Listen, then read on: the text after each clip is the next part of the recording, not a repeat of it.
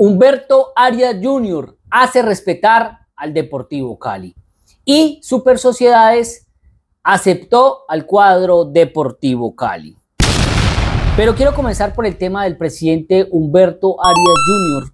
Hace respetar al Deportivo Cali. Ayer en una entrevista para las páginas oficiales del Deportivo Cali, el presidente dio algunas actualidades, algunas noticias sobre la institución azucarera y habló del tema de Humberto Acevedo, arquero del Deportivo Cali, que no es tenido en cuenta por el profesor Hernán Torres.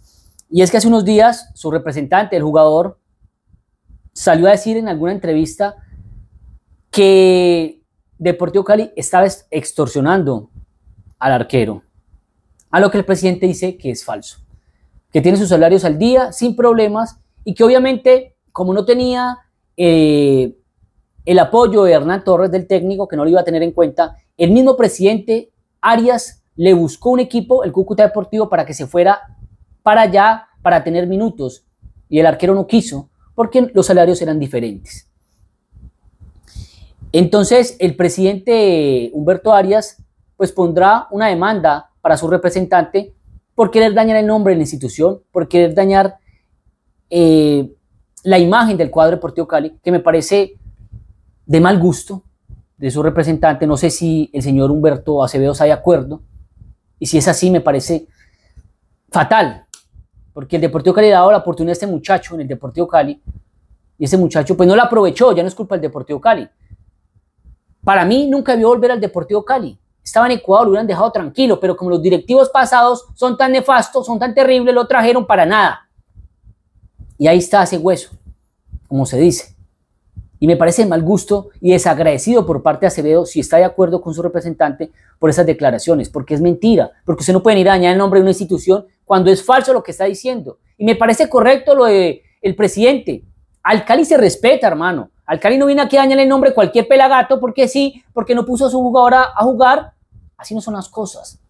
Entonces me parece correcto lo que está haciendo el presidente Humberto Arias Jr., porque si los presidentes del hace unos años atrás no les importaba el Cali, a Humberto Arias sí le importa la institución y la hace respetar como debe ser. No la deja manosear, pisotear de cualquiera.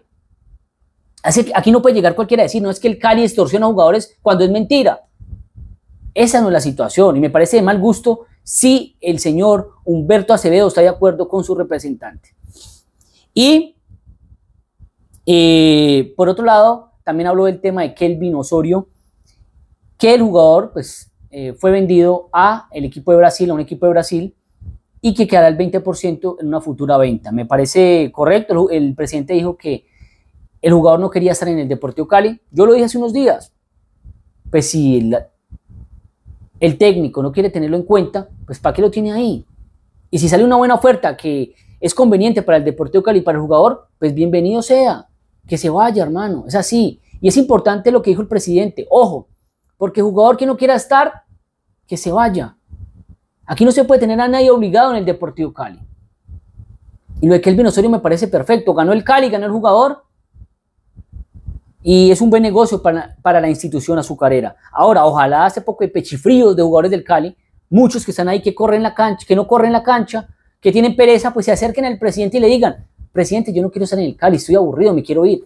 Y ya mira el presidente qué hace, si le consigue equipo para que se vaya, ok.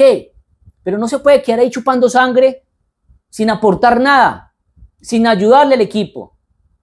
Eso no sirve, hermano. Esos jugadores no sirven en el Cali. Y eso es, esto es un compromiso como en cualquier empresa, usted trabajando. Usted tiene que comprometerse con la empresa, ponerse la camiseta, tener sentido de pertenencia por la empresa, por el equipo.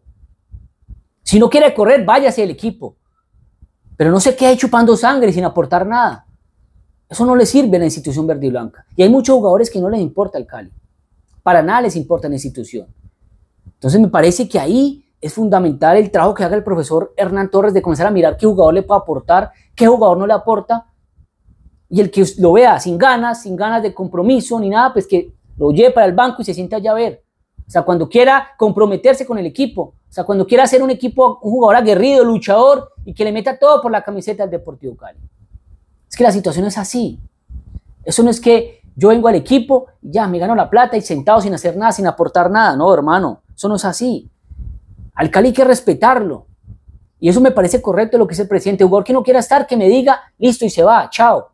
Se va del Cali, sin problemas. Pero eh, hay mucho jugador chupasangre en, en la institución azucarera. Y por otro lado, buenas noticias para los hinchas verde blancos, y es que la Superintendencia de Sociedades aceptó a la Asociación Deportivo Cali para la promoción de un acuerdo de reestructuración en los términos de las leyes 550 de 1999 y 1445 de 2011.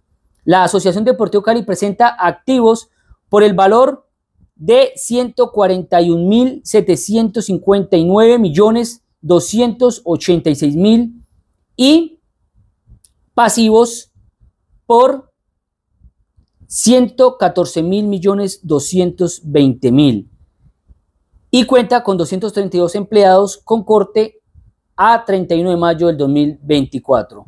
Dentro, dentro de las causas para la solicitud de admisión se encuentran la consecuencia de la pandemia que le generaron una disminución de sus ingresos por taquilla y pagos de las cuotas mensuales de asociados así como la suspensión de patrocinios o desembolsos programados. Hay que tener algo en cuenta y es que cuatro meses tiene el Deportivo Cali para ponerse de acuerdo con los acreedores y negociar y otros cuatro meses para quedar al día con los acreedores. Me parece un gran paso, fundamental para la institución verde y blanca. Ahora es importante que aquí para allá la junta directiva, el presidente Humberto Arias Jr., sean eh, puntuales con los pagos, con los acreedores, para no tener problemas y que eso pueda seguir transcurriendo sin ningún inconveniente para que él pueda Cali pasar a sociedad anónima. Ahora, ojo, porque algunas personas dicen, ojo, el Cali ya pasó a sociedad anónima. No, falso. Eso son cosas distintas. Sociedad anónima es una cosa y esto del pago a acreedores es otra. El Cali sigue trabajando para poder pasar a sociedad anónima, sigue la institución en ese proceso esperando y ya cuando el Cali pase a sociedad anónima, que es lo que queremos todos, que es lo que necesita la institución para que pueda llegar un inversionista, pues ya el Cali, digamos que puede buscar inversionistas que lleguen al equipo, que puedan ayudar al equipo y levantar esto. Pero me parece que esto de los acreedores es fundamental. Es una piedrita para arrancar este proceso del Cali.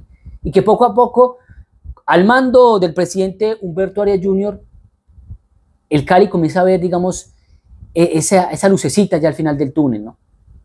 Digamos que ojalá, ojalá sea eh, este el comienzo de un gran paso para el Deportivo Cali para pasar a Sociedad Anónima, que es lo que tanto necesita el cuadro verde y blanco. Es fundamental. Ya lo dijo el presidente en algunas entrevistas, que de aquí al otro año ya el Cali estaría pasando a Sociedad Anónima. Ojalá así sea.